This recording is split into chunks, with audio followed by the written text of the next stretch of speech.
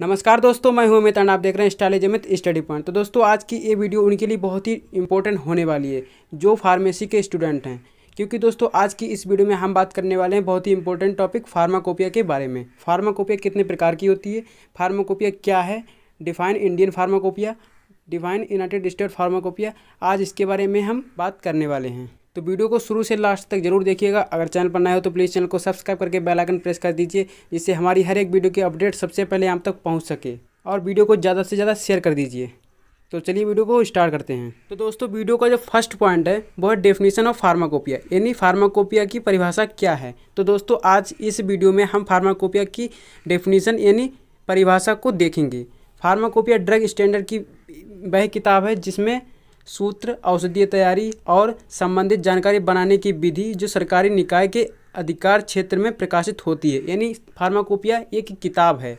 तो दोस्तों, अब देखते हैं कि फार्माकोपिया कितने प्रकार की होती है। फार्माकोपिया की टाइप्स की बात करें तो United State pharmacopoeia Indian pharmacopoeia pharmacopoeia of the People's Republic of China German pharmacopoeia British pharmacopoeia Portuguese pharmacopoeia Mexican pharmacopoeia French pharmacopoeia, Japanese pharmacopoeia and Argentinian pharmacopoeia. दोस्तों, इतने प्रकार की फार्माकोपिया पाई जाती है।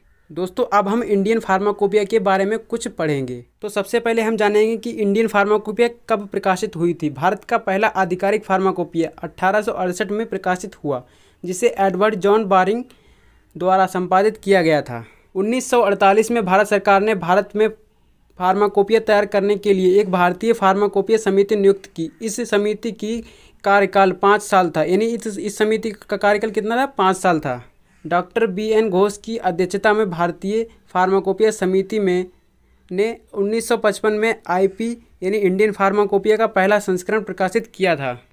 1901 में भारत सरकार के संस्करण के रूप में प्रकाशित हुआ। 1946 में भारत सरकार ने सर आर एन चोपड़ा की अध्यक्षता में एक सूची जारी की, जिसे भारतीय फार्माकोपियल सूची समिति के रूप में जाना जाता है। इसके साथ ही साथ आज़ादी से पहले के दिनों में भारत में ब्रिटिश फार्माकोपिया का इस्तेमाल किया जाता था। दोस्तों देख लेते हैं कुछ यूनाइटेड स्टेट फार्माकोपिया के बारे में। स्टेट फार्माकोपिया का पहला संस्करण हुआ था पंद्रह दिसंबर 1820 को। लैटिन और अंग्रेज़ी दोनों में प्रकाशित हुआ था ये।